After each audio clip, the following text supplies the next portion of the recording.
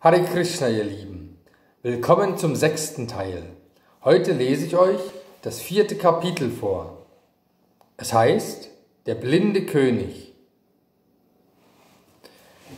Für die Prinzen war es nun an der Zeit, Tronas Schule zu verlassen. Damit wurde für sie die Entrichtung der Dakshina fällig, des traditionellen Lohns, den der Lehrer zum Ende der Ausbildung von seinem Schüler verlangt. Drona wollte nur eines von ihnen, Nehmt König Drupada von Panchala gefangen und bringt ihn mir lebendig her. Die Prinzen wussten, was es mit Dronas Wunsch auf sich hatte. Er hatte ihnen nämlich erzählt, dass er und Drupada einst befreundet gewesen waren, während sie zusammen im Ashram des Rishis Agnivesha lebten. Als künftiger Thronfolger Panchalas hatte Drupada damals Drona versprochen, er werde beim Antritt seines väterlichen Erbes das Königreich mit ihm teilen. Doch als es viele Jahre später soweit war und der mittellose Drona seinen alten Freund an das Versprechen erinnerte, musste er sich verletzende Worte anhören. Du, mein Freund, für wahr kein schlechter Scherz, spöttelte Drupada. Offenbar bildest du dir sehr viel auf eine längst vergangene Bekanntschaft ein. Nein, das schlage dir nur gleich aus dem Kopf. Die Zeiten haben sich geändert. Was soll ich mich mit einem dahergelaufenen Bettler gemein machen? Gekrönte Häupter wie ich verkehren nur mit ihresgleichen. Drupada gab Drona ein Almosen und schickte ihn fort. Tief gekränkt ging Drona seines Weges. Er bedauerte es sehr, dass der König sein Wort gebrochen hatte und konnte den Vorfall nicht mehr vergessen. Obwohl Drona mittlerweile ein unvergleichlicher Meister der Waffenkunst geworden war, sann er nicht darauf, Drupada aus Rache zu töten. Er hielt es für besser, dem machttrunkenen Monarchen eine Lektion zu erteilen und ihn dazu zu bringen, sein Versprechen doch noch einzulösen. Und hierzu wäre es am besten, so dachte er, wenn Drupada sich den Prinzen, den Schülern Dronas, im Kampf geschlagen geben müsste.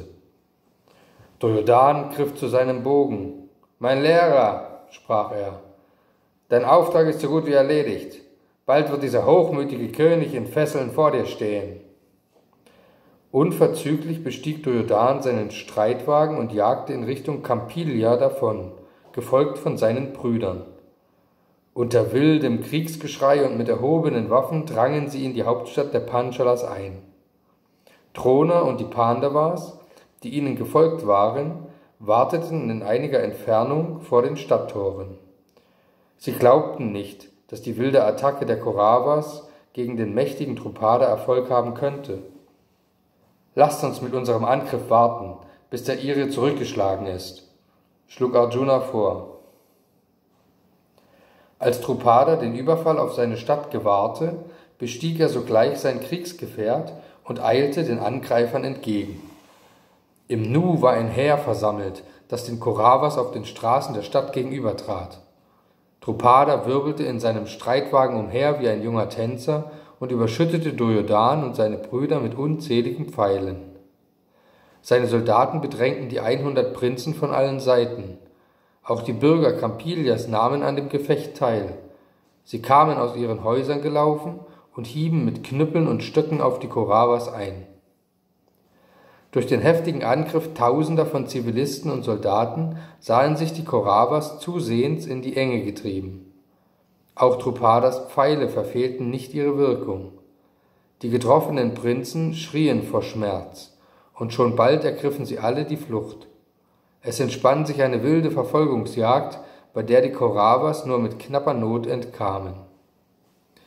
Die Pandavas lachten, wenn sie nur so gewandt mit ihren Waffen wären wie mit ihren Worten, scherzte Arjuna. Dann wandte er sich an Yudhishthira. Jetzt ist unsere Zeit gekommen. Bitte lass mich und die anderen mit Drupada kämpfen, während du hier bei Drona bleibst.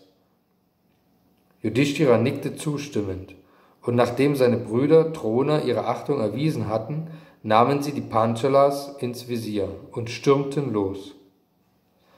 Drupada, der mit einem weiteren Angriff rechnete, hatte ein mächtiger hatte ein Heer mächtiger Kriegselefanten vor der Stadtmauer aufgestellt.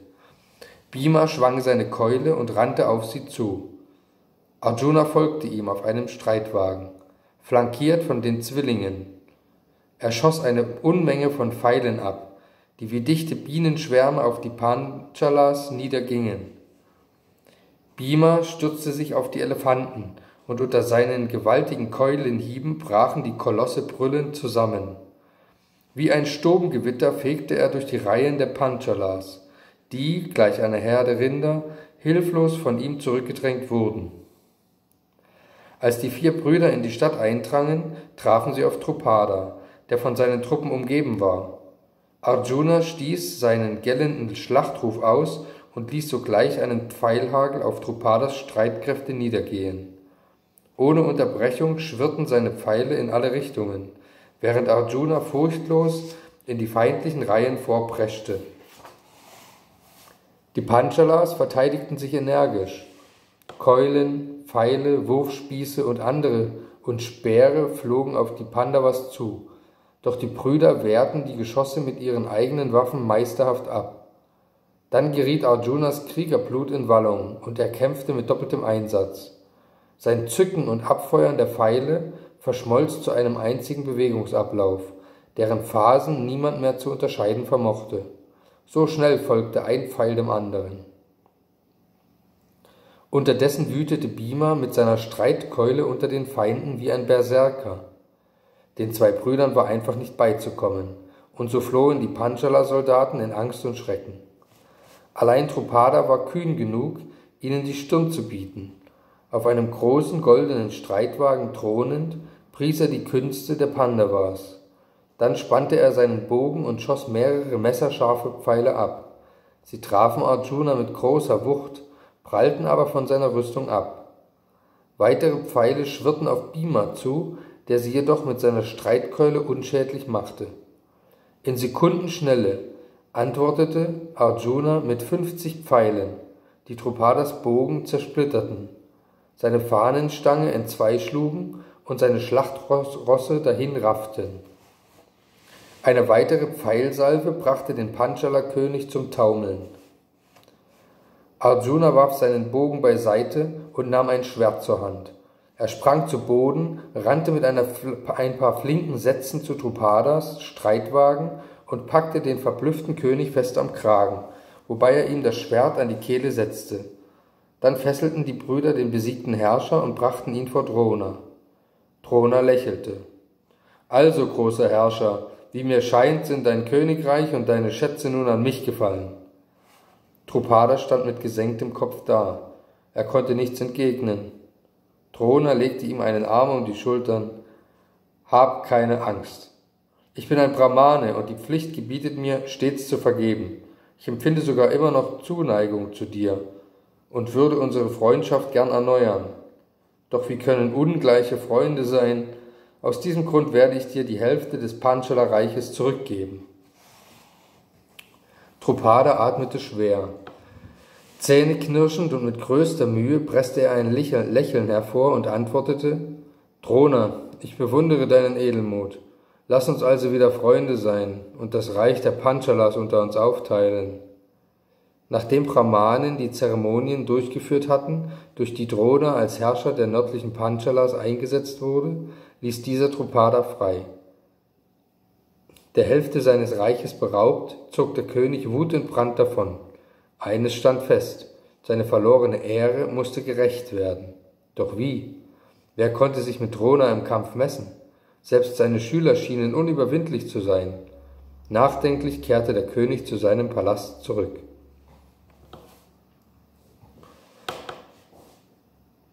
Die Lage in Hastinapura blieb für die Pandavas weiterhin gespannt.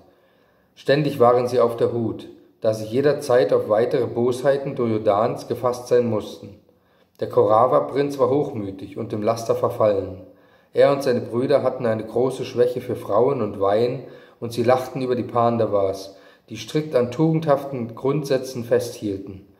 Dhritarashtra war gut zu seinen Neffen, doch allzu nachsichtig mit seinen Söhnen, denn er duldete ihre Ausschweifungen und unternahm nichts gegen ihre Feindseligkeit gegenüber den Pandavas. Eines Tages kam ein Gesandter aus dem nahen Mathura, um Dhritarashtra einen Besuch abzustatten. Mathura war die Hauptstadt der Yadus und der Vrishnis, die freundschaftliche Beziehungen zu den Kurus unterhielten. Auch familiäre Bande verknüpften sie, denn Kunti entstammte dem Hause der Vrishnis. Ihr Bruder Vasudev hatte einen Sohn namens Krishna, der nach Ansicht der Rishis der höchste Herr in menschlicher Gestalt war. Als Krishna von den Schwierigkeiten hörte, die seine Tante Kunti und deren jungen Söhne in Hastinapura zu erdulden hatten, hatte er seinen Berater Akrura ausgesandt, um die Lage zu erkunden. Nachdem Akrura von den Kurus in aller Form empfangen, empfangen worden war, begab er sich zu Kunti. Sie war überglücklich über seinen Besuch und fragte ihn nach dem Befinden all ihrer Verwandten. Besonders interessierte sie sich für Krishna, den sie als Gott anerkannte. In ihrer Sorge um ihre Söhne erflehte sie beständig seinen Schutz. Denkt mein Neffe Krishna an mich und meine Söhne? fragte sie Akrura. Weiß er, dass ich hier inmitten vieler Feinde leide wie ein Reh unter Wölfen? Kunti war sich sicher, dass Krishna genau über alles Bescheid wusste. Es gab nichts, was er nicht wissen konnte.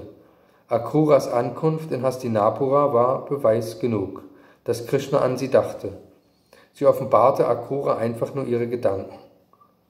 Akura beteuerte ihr mit beruhigenden Worten, dass Krishna oft von ihr spreche, auch habe er von Duryodhans Anfeindungen gehört und würde sicherlich bald zu ihr kommen. Nur habe er zuvor noch ein paar wichtige Angelegenheiten in Mathura zu erledigen. Kunti hatte gehört, dass Krishna vor kurzem einen dämonischen König namens Kansa getötet hatte, der irgendwie zur Herrschaft über Mathura gelangt war. Kansa hatte wiederholt versucht, Krishna und dessen Bruder Balaram, die in dem Dorf Vrindavan aufgewachsen waren, zu töten. Nachdem Kansa die Prophezeiung vernommen hatte, Krishna werde ihn töten, sandte er zahlreiche Dämonen aus, um ihn aus dem Wege zu schaffen. Doch Krishna und Balaram vernichteten sie alle. Zuletzt gingen die göttlichen Jungen nach Mathura und töteten Kamsa eigenhändig. Akrura tröstete die weinende Kunti. Alle deine Söhne sind Erweiterungen von Göttern und zudem Geweihte des höchsten Herrn, was sie unter seinen ständigen Schutz bringt. Die Koravas werden ihnen nichts anhaben können. Akrura blieb mehrere Monate in Hastinapura, da er einen umfassenden Überblick über die Lage haben wollte. Als er schließlich bereit war, nach Mathura zurückzukehren, sprach er noch einmal mit Dhritarashtra. Mit seinem politischen Scharfblick hatte er erkannt, dass letztendlich alles von diesem blinden König abhing. Dhritarashtra war kein eingefleischter Bösewicht wie Kamsa, aber insgeheim unterstützte er seine Söhne in ihren niederträchtigen Absichten. Es stand in seiner Macht, eine offene Auseinandersetzung zu vermeiden, indem er Duryodhans Treiben ein Ende bereitete, zum Beispiel indem er ihn in ein fernes Land schickte. Dhritarashtra lauschte, lauschte schweigend Akuras Worten. Mein König, der Thron, auf dem du hier sitzt, ist dir nur Umstände halber zugefallen, als einem Stellvertreter. Der rechtmäßige König war Pandu, und somit haben seine Söhne den Hauptanspruch auf den Thron, zumindest aber den gleichen Anspruch wie deine Söhne. Aus diesem Grund solltest du alle Prinzen gleich behandeln. Für einen Weisen sind alle Lebewesen gleiche Teile des höchsten Herrn. Zuneigung zu Familienmitgliedern entsteht aus Täuschung. Als großer König ist es deine Pflicht, unvoreingenommen zu, zu regieren und solche ewigen spirituellen Wahrheiten stets zu beachten. Dhritarashtra hatte nichts einzuwenden. Der Minister der Vrishnis hatte dem blinden König deutlich gemacht, dass er nur das Schicksal herausforderte, indem er sich den Grundsätzen der Ethik widersetzte. Wenn er nicht auf rechtschaffene Weise mit den tugendhaften Pandavas umginge, werde er am Ende nur Kummer ernten. Dhritarashtra seufzte. Ich weiß wohl, wie recht du hast, weiser Akrura. Ach, wäre es mir nur möglich, deinen Rat zu befolgen. Die Zuneigung zu meinen Söhnen ist zu stark. Vielleicht möchte ich, dass sie das werden, was ich nicht werden konnte. Immer schon hatte Dhritarashtra seine Blindheit verflucht.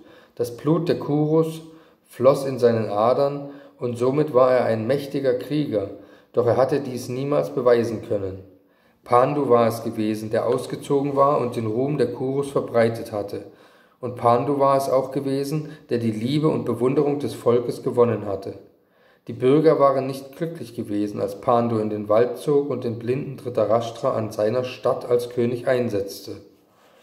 Der König fuhr fort. Was soll ich tun? Ich bin nur ein Mensch, gefangen von Hass und Verlangen. Der Herr hat mich zu dem gemacht, der ich bin. Die Welt dreht sich nach seinem höchsten Willen. Nun ist, es nun ist er erschienen, um der Erde ihre Last zu nehmen. Und dies wird gewiss geschehen. Wer kann den Lauf des Schicksals ändern?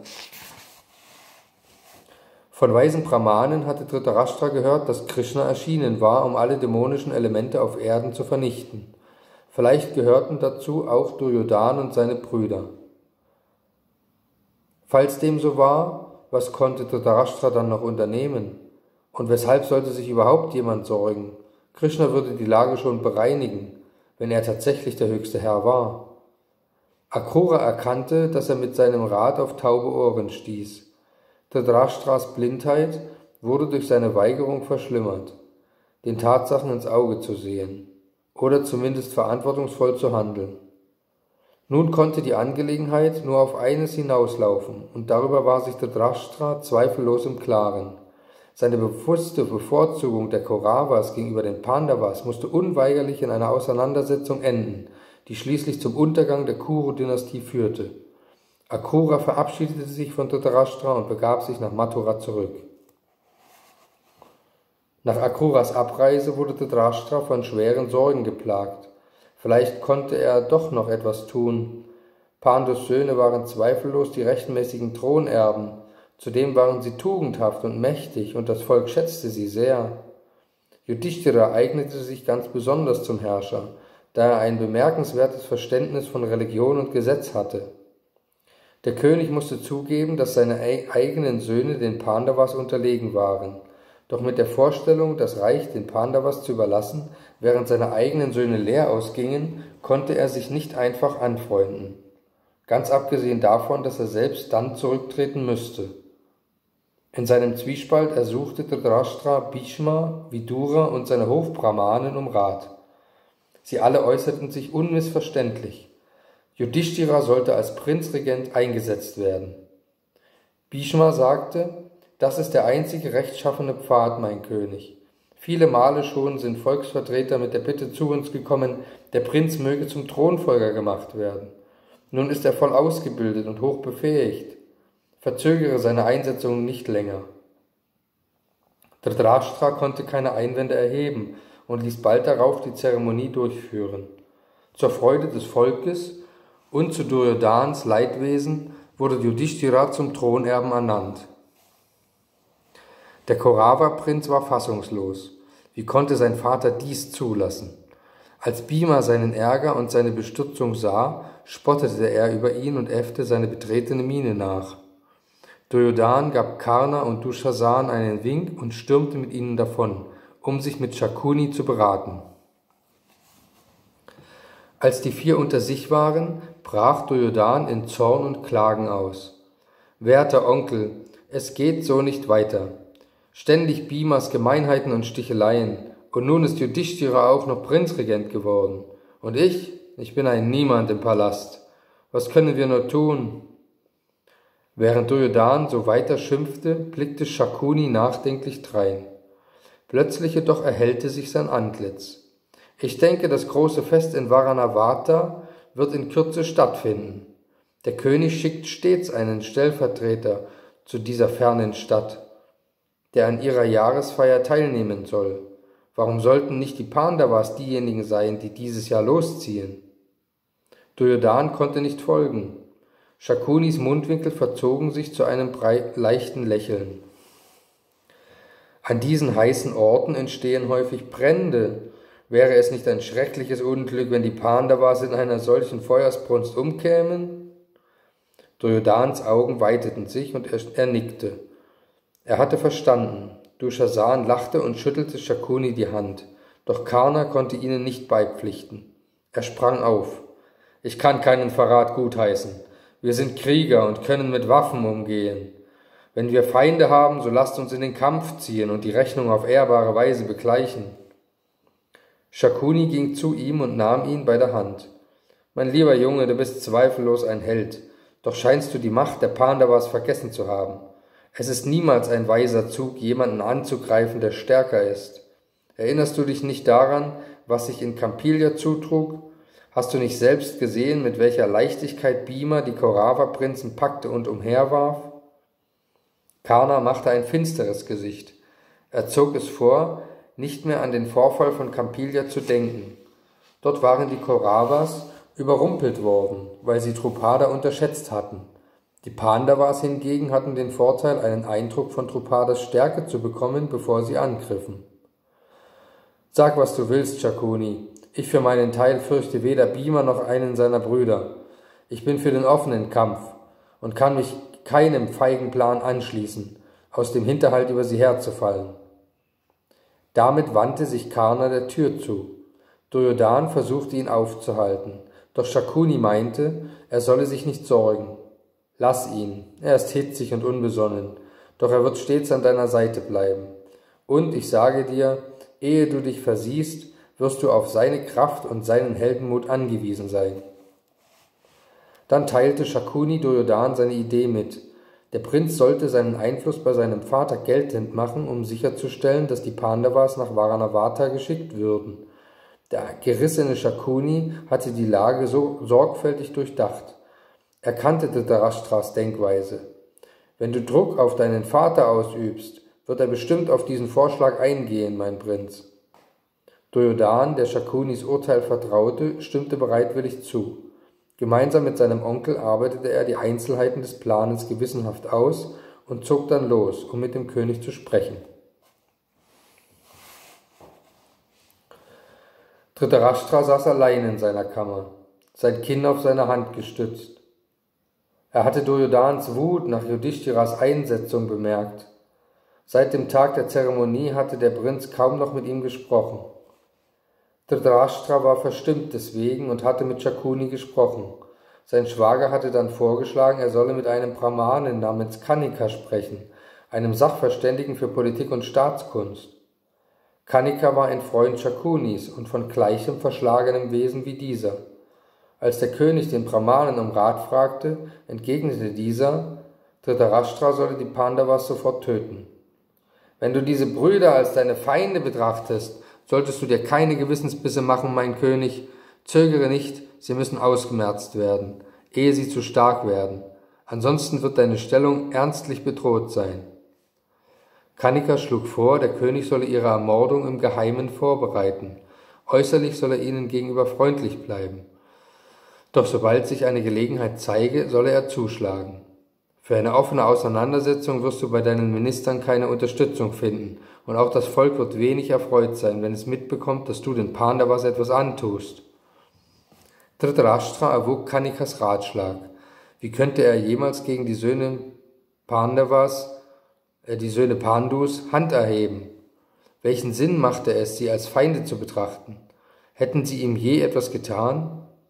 Doch als der König an Duryodhan dachte, geriet er ins Schwanken.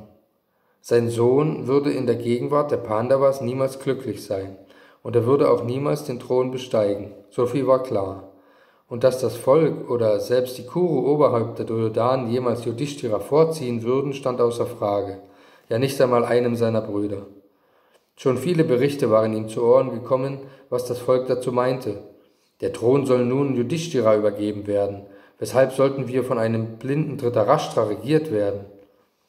Dem König war klar, entweder musste er mit Duryodhan ein ernstes Wort reden und ihm beibringen, dass Yudhishthira der nächste König sein werde, oder er würde Kanikas Rat befolgen müssen. Anfreunden mochte er sich jedoch mit keiner der beiden Möglichkeiten. Während der König so vor sich hin grübelte, hörte er plötzlich mit schweren Schritten Duryodhan nahen. Der Prinz trat vor ihn und Dhritarashtra, der seinem Sohn die Aufregung ansah, fragte ihn, was ihm fehle. Duryodhan erwiderte, ich habe besorgniserregende Neuigkeiten gehört. Es scheint, als wolle das Volk Yudhishthira sofort als König einsetzen. Sie sind nicht zufrieden mit dir, lieber Vater, und es scheint, als scherten sie sich auch nicht um mich. Der Prinz schritt beim Sprechen auf und ab, so dass der üppige Goldschmuck an seinem Gewand rasselte. Schon bald wird Schande über uns kommen. Mit Yudhishthira als König wird unsere Dynastie dem Unglück anheimfallen. Wie, glaubst du, wird uns der harsche und feindselige Bima behandeln? Wir werden zur Zielscheibe des Spotts werden. Wir werden von jedermann abgelehnt und verachtet werden und unser Familienheim verlassen müssen. Dann teilte Duryodhan seinem Vater mit, dass er einen Ausweg aus ihrer Notlage ersonnen habe. Vorsichtig enthüllte er ihm einen Plan, den er und Shakuni ausgeklügelt hatten, wobei er die Reaktionen seines Vaters aufmerksam beobachtete. Der Prinz war sich nicht wirklich sicher, welche Einstellung sein Vater den Pandavas gegenüber hatte. Zuerst einmal schlug er vor, dass die Pandavas unter dem Vorwand, ihnen Urlaub zu gewähren, zu dem bevorstehenden Fest nach Varanavata geschickt würden. Duryodhan sprach mit leiser Stimme und sah sich im Königsgemach um, um sicher zu gehen, dass sie allein waren. Sobald die Brüder einmal in jener fernen Stadt weilen, nun wer weiß, was alles geschehen mag, möglicherweise kehren sie nie mehr zurück. Dhritarashtra verstand sofort. Schnell hob er eine Hand und brachte seinen Sohn zum Schweigen. Nein, solches Denken ist höchst sündhaft. Wie könnte ich dir jemals gestatten, Pandus Söhne etwas anzutun? Mein Bruder war stets gütig und großzügig zu mir. Er gab mir dieses Reich, an dem ich mich nun erfreue. Ich hege weder gegen ihn noch gegen seine Söhne irgendwelche Missgunst. Nein, ich habe Pandu geliebt und genauso liebe ich seine Söhne. Doch noch während Dhritarashtra sprach, überkam ihn wieder der gleiche Wankelmut, mit dem er seit Yudhishtiras Einsetzung gerungen hatte. Seine Stimme dämpfte sich. Und was würde das Volk denken, wenn wir die Pandavas fortschickten? Sie könnten sich sehr wohl gegen uns erheben und uns gewaltsam absetzen. Und ich bin sicher, dass Bhishma und die anderen Oberhäupter der Kurus die Herrschaft der Söhne Pandus vorziehen, vorziehen würden. Duryodhan lächelte. Diese Möglichkeit hatte er bereits in Betracht gezogen. Diese Furcht, Furcht ist unnötig, mein König.